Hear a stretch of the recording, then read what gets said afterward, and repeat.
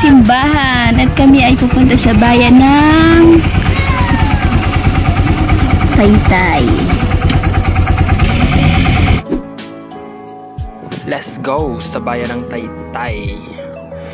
Pupuntahan namin yung pinagmamalaking kuta. K-U-T-A. Kuta. Doon sa bayan ng Taytay. Saktong-sakto, umuulan. Maganda mag-drive kapag umuulan. Kumusta experience nyo mag-drive ng umuulan? Pero actually, wala naman talagang ulan. Dumaan na yung ulan. Ambon-ambon na lang ito. It's the road to bayan ng Taytay. Uh, two lane pa lang siya. Pagmula doon sa pinanggalingan namin, papunta sa bayan ng Taytay, two lane pa lang. Hindi tulad doon sa south, sa pala, ng Palawan is naka 6 lane na sila. Ito yung papunta ng Tanatanain. Yung patanatanain na yon, yun na rin yung papunta ng Dumaran, Palawan.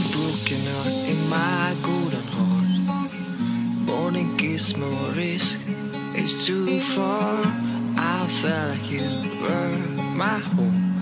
Finally I'm not alone. Shuttle flights dancing in the air. Mama told me you have to leave for peaks and thirst. I felt like you were my home.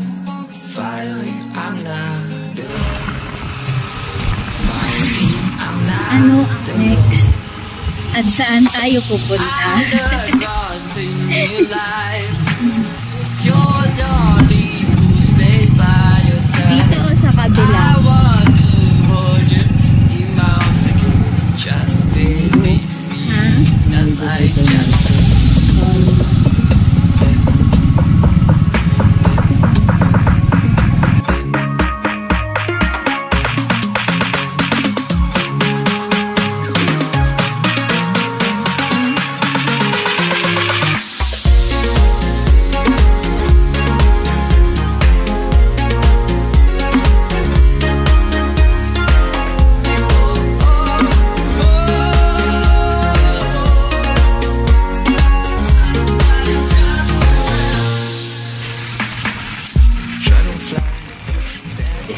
Napakalaking bus ito. Itong, itong sikat na bus dito sa Palawan, Roro Bus.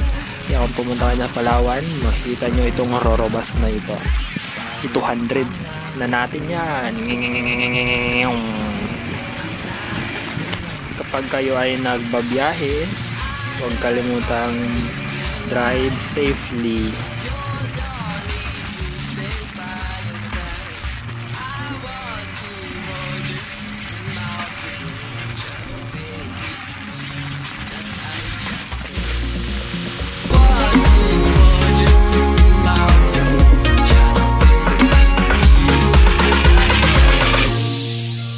For nakita nyo itong Petron, sabihin na sa bayan na kayo ng Taytay. And meron yan ditong rotonda. Yan ang rotonda. Yung kabila po na daanan na yan, yung sa kaliwa, pa El Nido. El Nido, Palawan. Pero yung kabila na ito, pabayan po ng Taytay. May rotonda kayong mamimit. Ito yung rotonda.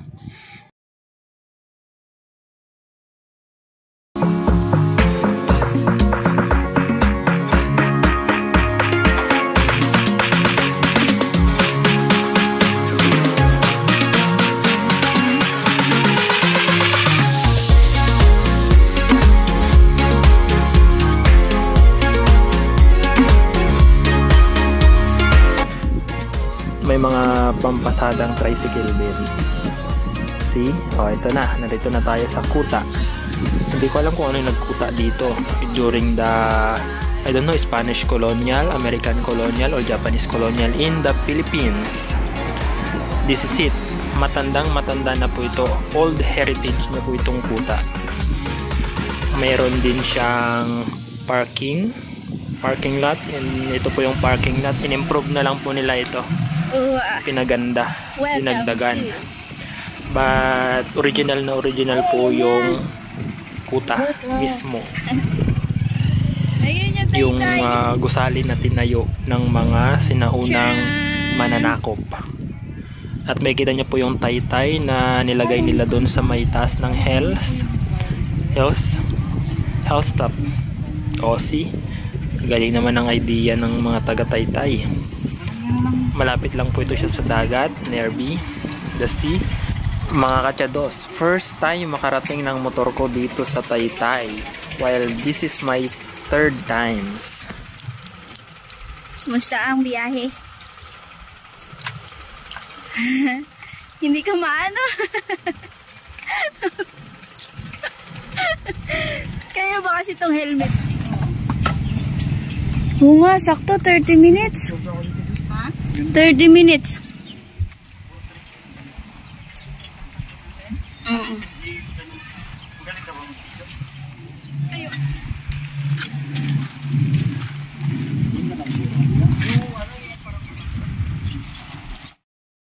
Mga katsados, ang maganda dito, kitang kita yung word na taytay doon sa Hells, dito sa may kuta mismo.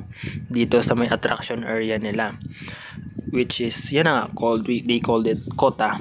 Ito yung kuta. Dito, ah, nagkuta yung mga mga mga mga, manlakop during that time. At nandito kami ngayon sa bungad. May mga kanyon dito. Kanyon, um, sa English ang kanyon. Comment nyo dyan sa comment section kung ano English ng kanyon. And kailangan mong magpa-register dito before you go. Ah, nasa 80 pesos po yung entrance fee. Makakapasok ka na dito for 80 pesos. I learned one thing in the only who stays by your side. I want to hold you in my arms again. Just stay with me, not like just then.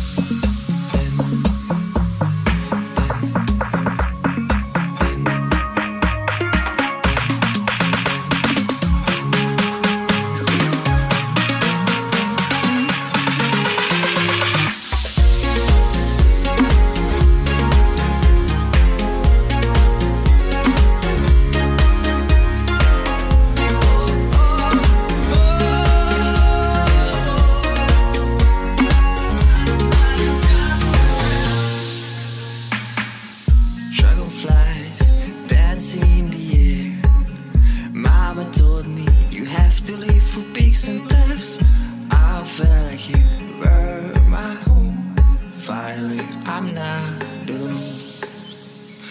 Finally, I'm not alone. They are very religious kasi nagtayo sila ng church. Built a church inside. Ito yung itsura. Pinaganda na lang nila ngayon na modernize. I don't know kung matagal na ba talaga itong church o contemporary lang. And meron sila ditong ah, mga kanyon din sa taas. Ah, kaya siguro dito sa dagat nila itinayo para kung may madadaong na mga kalaban, eh madali nilang makita at mapunterya. At madali na nila itong ma, ma makanyon. Mga katsados, don't forget to subscribe. Please support my YouTube channel. Thank you. Ito mga katsados, kasama ko yung aking makulit na kaibigan, Danmark Bara at si Tita Daday. Shoutout sa inyong dalawa. Ito na! I'm here in a side view. Kita nyo yung parking. Doon kami nag-parking ng mga motor. Gchad TV. Hi guys, ang ganda 'di ba? Oh. Nakita niyo yung dagat?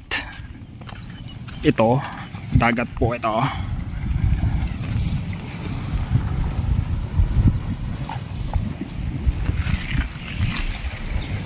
So you can see the Taytay and Taytay word. Sa taas kami. Ayun sila mami. Yun o, yun o, yun o. Yarn. See, tapos ito yung town ng Taytay and then it's the Kota. Tawag dito ay Kota. Yan yung entrance tapos may mga kanyon. And dagat naman dito. So this is the other side.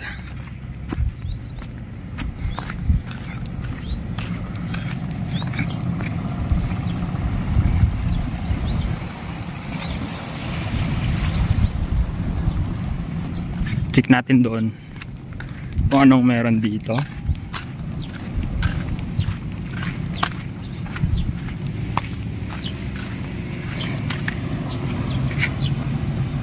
ah may pier may motor oh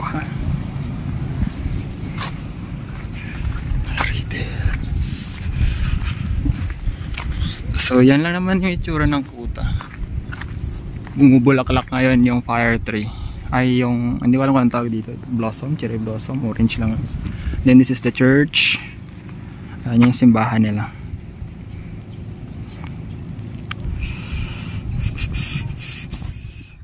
At ito na nga, nakababa na kami from the top of Kota.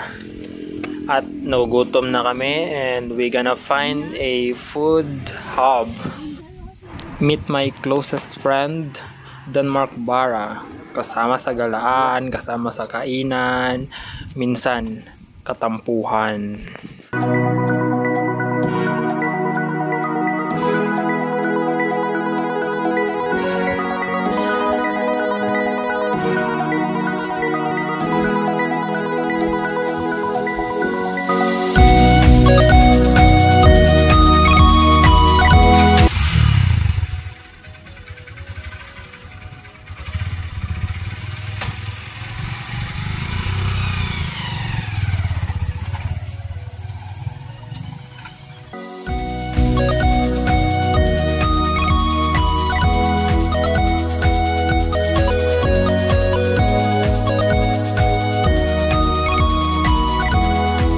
बताइए।